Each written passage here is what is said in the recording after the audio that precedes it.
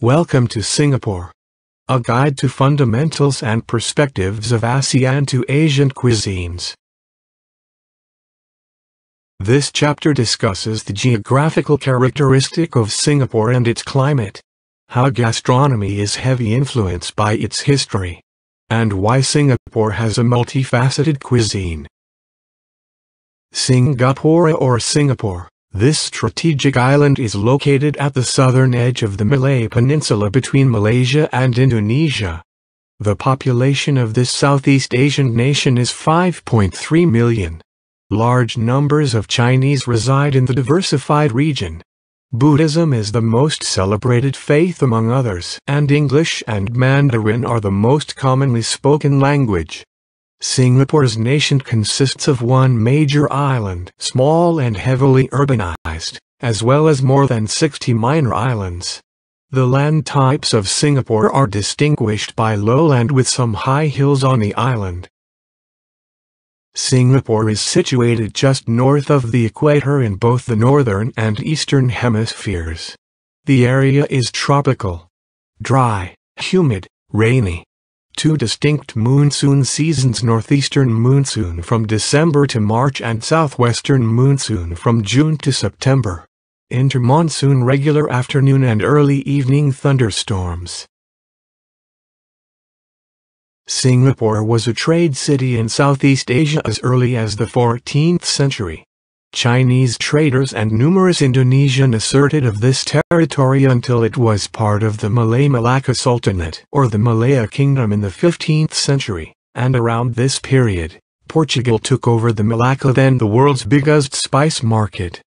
In 1613, Portuguese came to Singapore with the intention of conquering the land, and then by the 19th century the arrival of the community of citizens of the British East India Company took place. Instead of moving out some Portuguese married the natives. Singapore was a British trade center. This community remained here until 1963.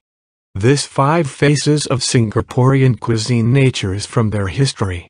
Traditional Malay, traditional Chinese, traditional Indian, Eurasian which is a fusion of the European and Asian ingredients, probably due to trade that existed before and Peranakan which is a combination of the Malay and Chinese traditions. The term Peranakan was roughly translated as locally born and raised, with the Chinese settlers' thoughts contributing to cross-racial connection, contributing to a new ethnic cuisine. Peranakan cuisine is a combination of Chinese ingredients and Malaysian Indonesian spices and methods of cooking. No two dishes are especially the same, as each development is an analysis dependent on the desired flavor. The Malaysian influence to Singaporeans' gastronomy is distinguished with the use of native spices that are used in making sambal and the like which are seen existing in different tea cooking styles as well as in the plate itself. This Malay dish is a grilled skewer, may it be chicken or beef, marinated with lemongrass, turmeric, salt and sugar and so on and then served with an indulgent peanut sauce. A simple dish packed with flavors. Nasi lemak is a single plate dish of rice cooked in coconut milk with pandan, sambal which is famous chili side dish, simmered egg, peanuts, anchovies and cucumber. This dish must have an amazing quality, texture, flavor by having the right ingredients, Nyonya kuih is a colorful cake that is made with coconut milk, sweet potatoes, tapioca, palm sugar, and pandan leaves. This sweet delicacy is popularly enjoyed during tea time or can be seen on most festive occasion or celebrations. The intricacy in making this dessert believed to be the more effort you lay in preparing food, the happier all will be. Pao is a traditional Chinese buns are also known as mantou or bao buns. This fluffy, white buns can be done with fillings like red bean paste, barbecue-flavored meats and vegetables. Normally this bun is steamed but can be fried and served with other dishes.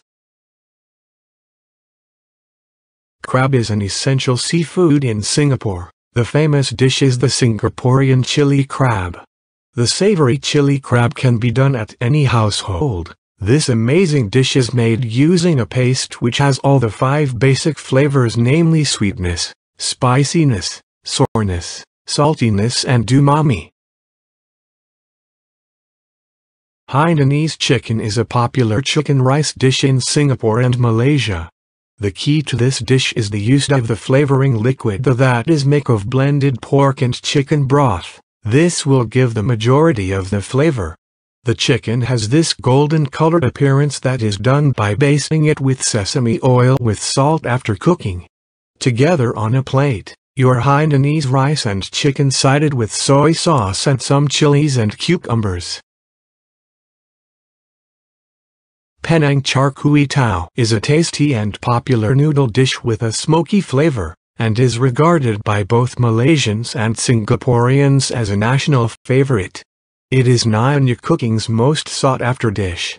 This noodle is not only flavored with the freshest ingredients, but the mysterious char fragrance of stir-frying the noodles over very high heat in a well-seasoned Chinese wok is equally essential. Read the description.